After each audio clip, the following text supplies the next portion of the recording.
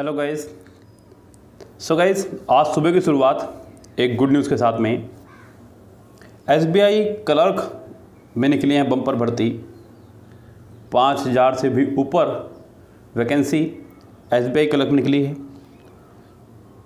सो so, जानते हैं इसके विषय में कि क्वालिफ़िकेशन क्या है स्टार्टिंग डेट क्या है फॉर्म की फॉर्म कब से आप शुरू कर सकते हैं भरने सिलेबस क्या रहेगा और स्टेट वाइज वैकेंसी कितनी कितनी है इसके अंदर, उसको जा लेते हैं।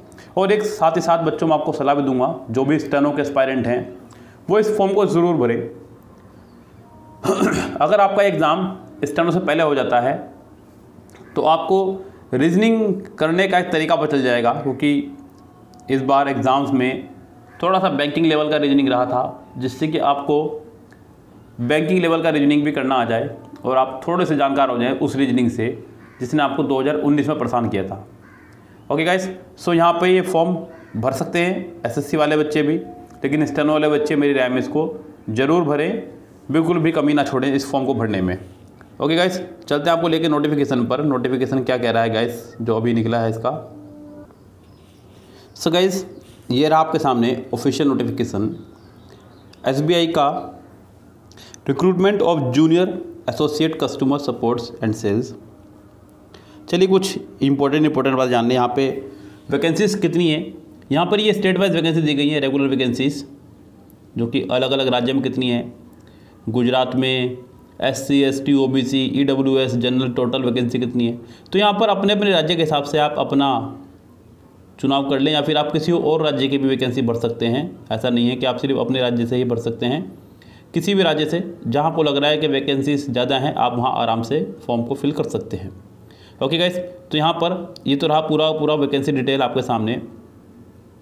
अब हम लोग बात करें यहाँ पे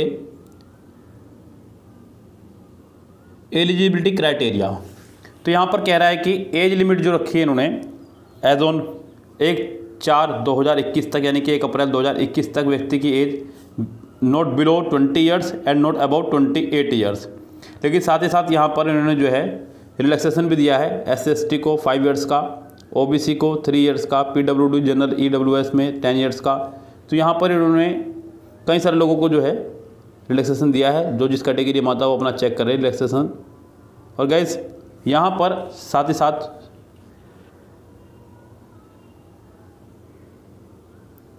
ये एकेडमिक क्वालिफिकेशन की अगर मैं बात करूँ सो कोई भी ग्रेजुएट व्यक्ति जिसने भी ग्रेजुएशन किया है, किसी भी तरह से लाइक बीए किया है बीएससी किया है बीबीए किया है, कोई भी बैचलर डिग्री अगर आपने की है, किसी भी यूनिवर्सिटी से की है तो आप इस फॉर्म को भरने में एलिजिबल है। कोई मिनिमम मार्क्स रिक्वायरमेंट नहीं है यहाँ पे, आप कोई भी इस फॉर्म को भर सकता है बच्चों।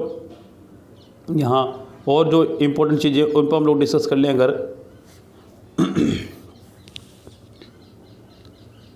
तो यहाँ इम्पोर्टेंट चीज़ें हैं हमारे सामने। सिलेक्शन प्रोसेस की बात करें अगर हम लोग,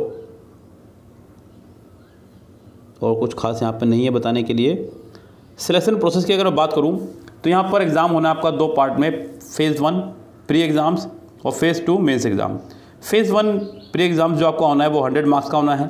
जिसमें इंग्लिश रहेगी आपकी थर्टी क्वेश्चन न्यूमेरिकल एबिलिटी यानी कि मैथ्स रहेगी थर्टी फाइव क्वेश्चन और रीजनिंग रहेगी थर्टी फाइव क्वेश्चन और thirty thirty five thirty five marks के रहेंगे। टोटल आपको एक घंटा मिलना है इसमें, और यहाँ पर आपका निगेटिव मार्क्स भी रहेगा वन फोर्थ का। अगर आप लोग रॉन्ग आंसर करते हैं तो वन फोर्थ की निगेटिव मार्किंग भी इसके अंदर रहेगी। मेंस एग्ज़ाम में जनरल और फाइनेंस अवेयरनेस आपका ऐड हो जाएगा। बाकी सब कुछ सेम रहने वाला है और कंप्यूटर एप्टीट्यूड आपका ऐड हो जाएगा। 50 40 50 50 यानी कि 190 क्वेश्चन आने हैं 200 मार्क्स के और दो घंटे 40 मिनट आपको इसके लिए प्रोवाइड कराए जाएँगे। पूरे के पूरे एग्ज़ाम्स के लिए। और गाइज़ यहाँ पे एक चीज़ और जिन्होंने भी कुछ साफ़ क्लियर कर दी है कि प्री एग्ज़ाम जो है टेंटिवली एक जून के आसपास, यानी जून के आसपास आपका हो जाएगा। ये टेंटेटिवली डेट है। इसके बारे में आप कुछ फिक्स नहीं कर सकते, लेकिन फिर भी बैंक पर मुझे भरोसा है कि ये समय पर अपना एग्ज़ाम ले ही लेते हैं। तो इसलिए मैं कह रहा था आपको स्टनो वाले बच्चे कि इसका फॉर्म ज़रूर भरे, जिससे कि आपको रीजनिंग करना आ जाए इसका कम से कम। इसलिए। तो यहाँ पर गाइज़ और भी कुछ इन्फॉर्मेशन जो मुझे आपको देनी है, वो देख लीजिएगा, ध्यान से यहाँ पे पूरी जानकारी ले लीजिएगा, तभी फॉर्म भरिएगा।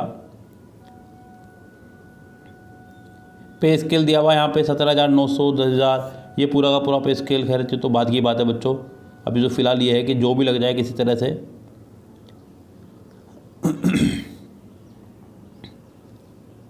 ये सब चीज़ें तो एग्ज़ाम के दौरान आपको पता चली जाती हैं बच्चों। यहाँ पर एप्लीकेशन फ़ी की अगर मैं बात करूँ तो जो S C S T P W D वगैरह वालों के लिए चार्ज है बिल्कुल नील है।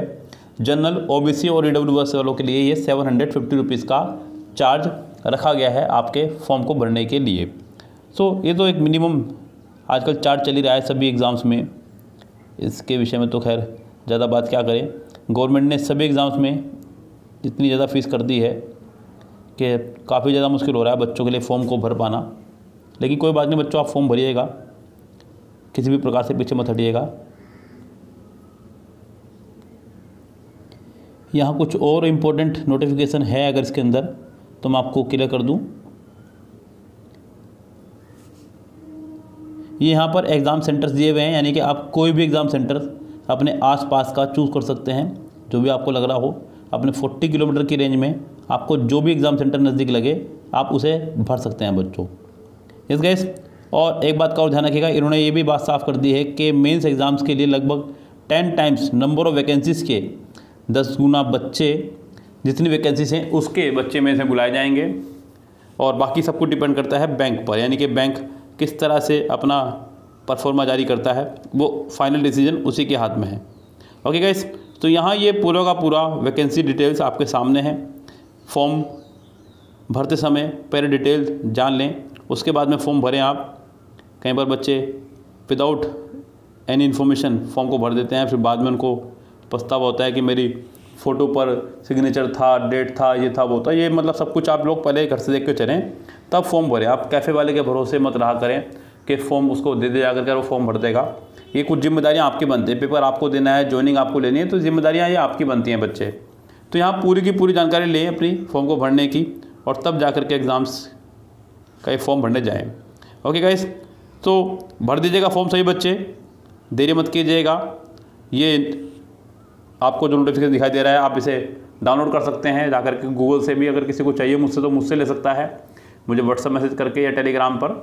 Okay guys so good bye have a nice day